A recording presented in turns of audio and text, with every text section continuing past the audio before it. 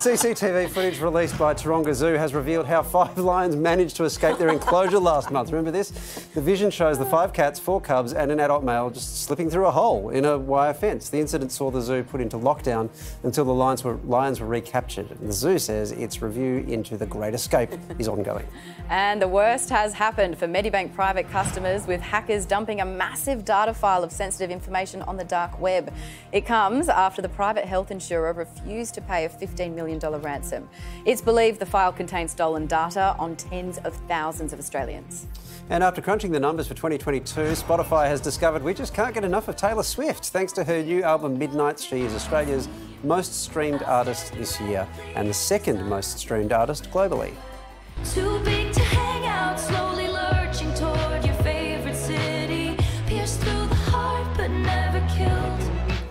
70% of that's Georgie, I reckon.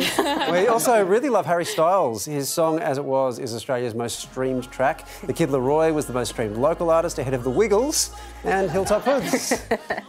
Well, he's not kidding. Most of these are probably from you, Georgie. Yeah. Uh, are you trying to say something here? Yeah. I might have all of my top songs being Taylor Swift Midnights related, and uh, just a reminder that that album.